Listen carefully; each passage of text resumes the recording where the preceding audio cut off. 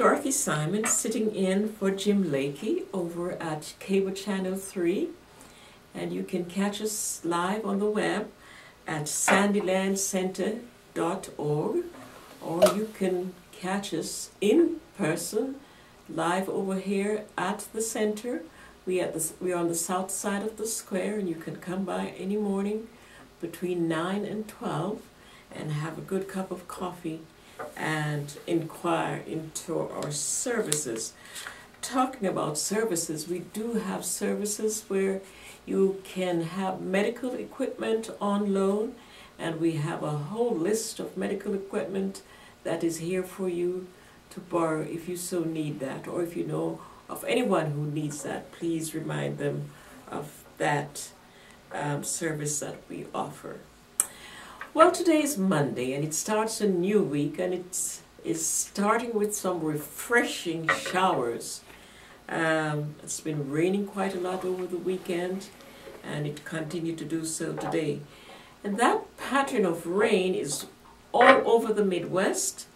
Um, seems like from Nebraska, Missouri, and Kansas, there's heavy rain. These widespread um, showers and thunderstorms are generated by uh, upper level disturbances.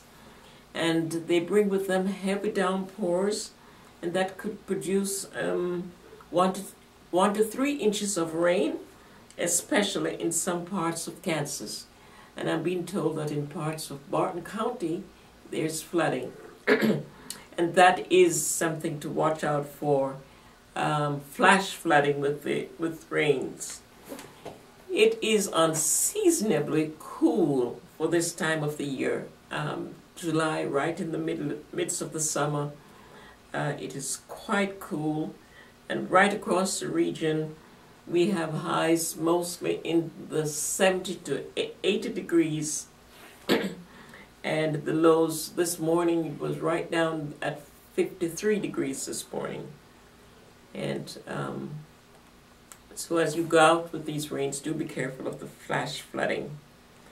Over the next six hours, it would be, it will be mostly cloudy with temperatures today uh, in the low to middle 80s, with the winds that it's coming from the south southeast at 15 to 20 miles per hour. But right now in the square, it's uh, cloudy, it's 71 degrees, and a 78% humidity. The high today could be uh, as high as 86 this afternoon with 80% humidity and some more thunderstorms developing in the afternoon and some of these thunderstorms could be quite severe in places. Tonight's low will be at 71 degrees Fahrenheit.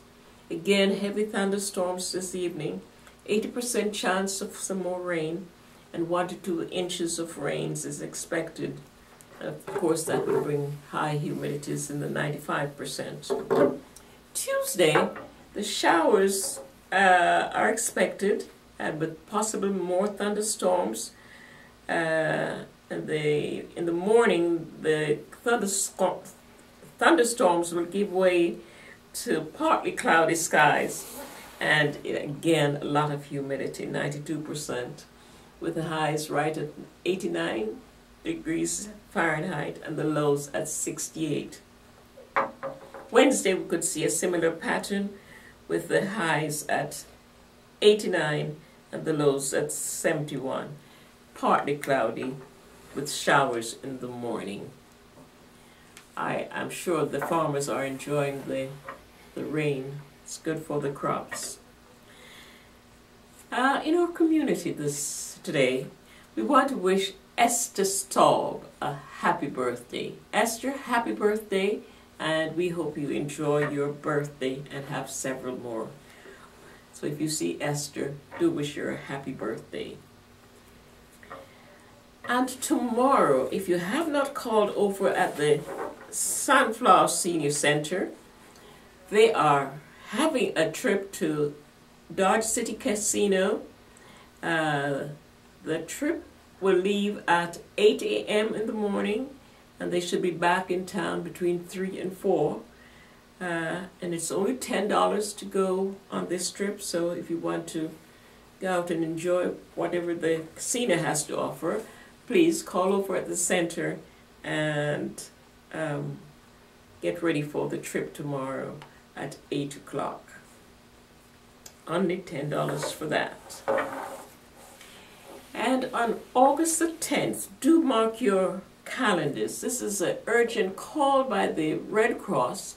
They're um, hosting a blood drive over at the, the lodge on 700 East First. They'll be there from 11 o'clock in the morning until 4 p.m. in the afternoon.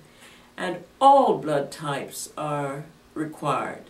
If you can give blood or if you don't know your blood type, come on over and they will test your blood type for you and hopefully you could, you should be able to donate some blood. They are in need of blood because um, the donors have been fewer over the past several months and their supplies have dwindled and they're quite low. So please, please mark your calendars for August the 9th at the IOF gym from 11 to 4 p.m. All blood types are required. And I have here a long list of things that the food bank needs. And uh, if you're clearing out your cupboards, or indeed go purchase some for the food bank, it needs dried beans, peanut butter, saltine crackers, cereals of all kinds, Kleenex, cake mixes, um, Manischewitz sauces, any canned meat, and all canned meat, tuna, fish, or salmon.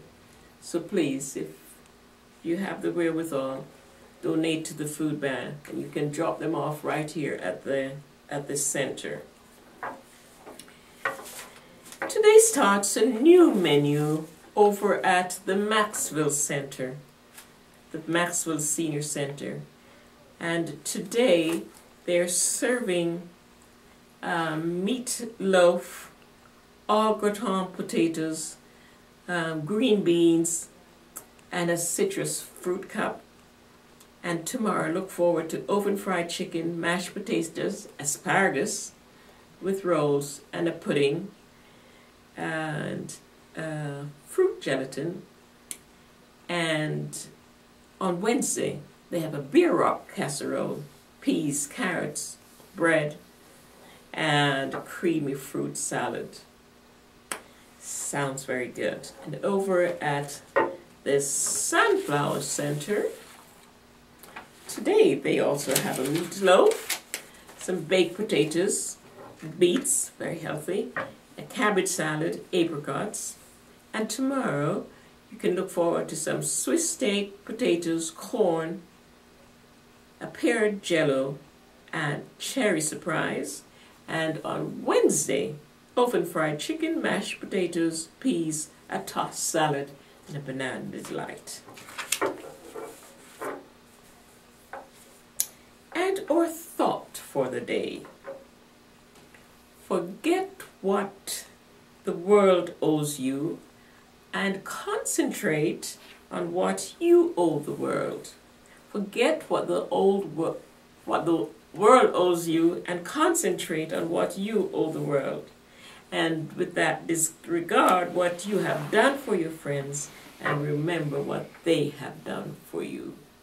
Enjoy the cool weather and happy afternoon.